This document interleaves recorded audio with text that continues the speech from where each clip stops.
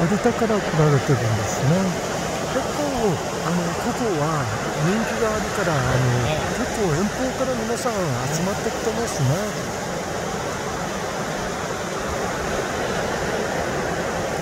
社食の方がなんか多いみたい